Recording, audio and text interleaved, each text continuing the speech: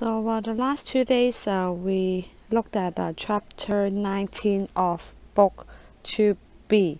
So be really careful. Right now we are going backward. We are looking back at um, book 2b. And uh, so today I will talk about um, chapter 20 and uh, please turn to page 68 of textbook 2b. So uh, because you guys have learned uh, the stuff uh, before, so I won't spend too much time talking about the details, but uh, I just want you to, uh, I just want to go over the chapter once with you because we haven't done that um, in uh, February. So part A, using the calendar. Question number one, when is your birthday? So mark it with a triangle on the calendar. So it'll be different for all of you. So question number two, find the special dates below on the calendar and mark them with a circle. So Christmas is on uh, December 25th. So it must be December 25th for, all, for every year. And then for Mother's Day, uh, the answer would be uh, May 11th, but then it will not be the same for every year. So for Mother's Day, it's actually the second Sunday of May. So it may not be 11th this year or next year. So the dates won't be the same, but it's always the second Sunday of uh, May. And so is the case for Father's Day is the third Sunday of June. So once again, the dates may not be, uh, it won't be the same for every year, but it's always like the third Sunday of June. And then National Day of China is always October the 1st. So turn to the next page, page 69. How many months are there in a year? So 12 months in a year. Uh, but then we have to, uh, for question number three, we have to refer back uh, to the calendar on page 68 because you guys uh, asked to write down the number of days for the 12 months. So, uh, so here, uh, this is the calendar on page 68.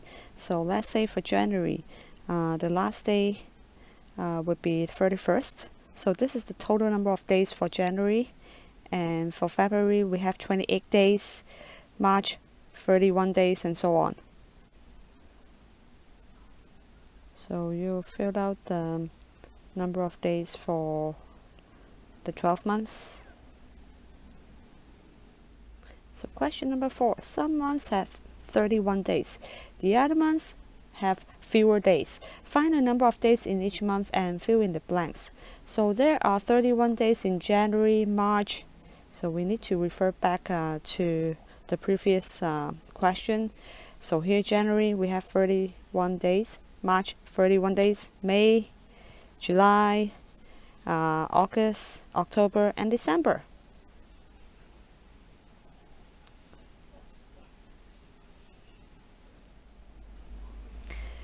And for part B, there are less than 31 days in so for February, we only have 28 days. And so as April, June, uh, September, November.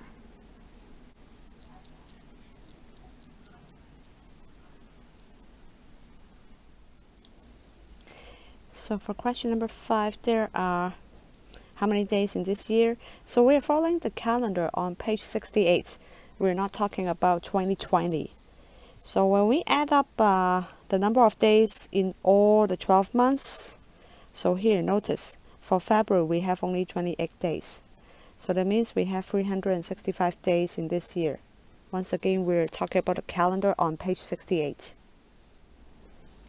And here comes the classwork. I want you to uh, try this on your own and then I will show you the answers in two seconds and I'll talk about the questions. So for question number one, circle the months with 31 days. Uh, we did that just now, so shouldn't be hard for you. So January, August, October. Circle the months with less than 31 days. Once again, we did that. So February and April, they have less than 31 days. And February is the only month with less than 30 days. So uh, for for question three of the classwork, I want you to refer back to this table here. So um, like uh, for January, March, May, July, August, October, December, they all have uh, 31 days. And then for April, June, September, November, they have 30 days. And February is the only day that has less than 30 days. So part B of uh, chapter 20 textbook uh, 2B uh, question number one, part A. Even I was born on 29th February 1980. Can you find my birthday on the calendar on page 68? No. Because remember on page 68 for February there are only 28 days. So part B, circle the last day of February on each of the calendars below. So we have uh, four different years, 2015, 2016, 2017, 2018. So what we have to do is circle the, the last day for February for all these four years. So 28th for 2015 and then 29th of February for 2016, 28th for the year 2017 and then also we have 28th February uh, 2018. So there are only 28 days in February in the years. So 2015, 2017, and 2018. So except for 2016, uh, we have 29 days in February. There is one more day in February in the year 2016. It has 29 days. In a common year, there are 365 days, with 28 days in February. In a leap year, which is right now, 2020, uh, there are 366 days, with 29 days in February. So I'll talk about the rest of uh, chapter 20 tomorrow. The homework for today will be textbook 2C exercise 9 and the first two questions uh, you do those on uh, the textbook. And then for questions number 3 to 7 you do it on uh, math A or B.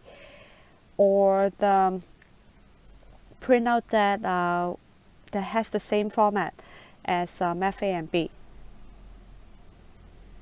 So for question number 1 um, so you are asked to write the price of each item below, then circle the money needed to buy the item.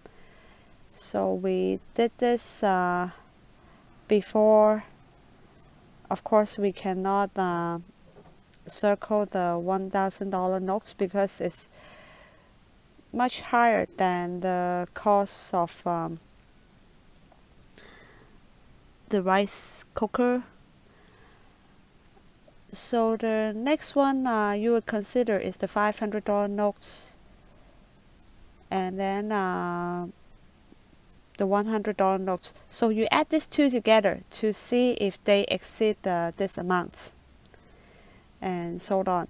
And for question number two, once again you use the same uh, format to try to find out the the money like the notes or the coin that you need so once again if you circle both uh, like these two $10 notes it would be uh, the, the total amounts for this uh, when you add them together it will be $20 so it's actually higher than the cost of the toothbrush so you wouldn't circle both of them so you would start with only one and then uh, ignore the other $10 notes and then try to consider the next uh, smaller value coin here.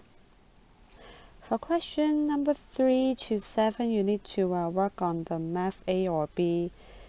So uh, I'll do an example for you for question number 3. So Tina wants to buy the ruler, which costs $9.20, and an eraser, which costs $4.50. How much should she pay?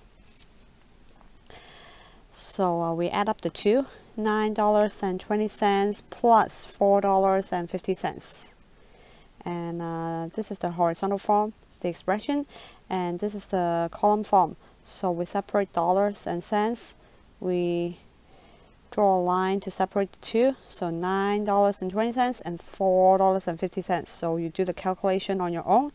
And then you copy the answer over here uh, the dollars and the cents. And then you have to write a sentence at the end. She should pay um, the number for the dollars and the number for the cents and then you draw a line here uh, at the end for question number four Jack buys two pens how much should he pay so uh, the cost for one pen is $18.90. So right now he needs to buy two. So simply $18.90 plus $18.90. And question number five, how much more expensive is the glue stick than the ruler? So uh, the glue stick actually costs more than the ruler. So you take um, the value here minus the value of the ruler in order to find out how much more expensive is the glue stick. And then question number six, Sean has $8.50. How much more money does he need to buy the ruler? So the ruler costs $99.20. Uh, but then Sean only has $8.50. So uh, you take the value of the ruler minus the amounts that Sean has in order to find out uh, the money that he needs uh, in order to buy the ruler. And question number seven, Cindy pays $20 to buy a pair of scissors. So the scissors cost, uh, the pair of scissors cost $11.60. So we would like to know the, how much change uh, she should get. So 20 minus uh, $11.60 in order to find out the amount of the change. So that's it for today. I will see you tomorrow. Goodbye.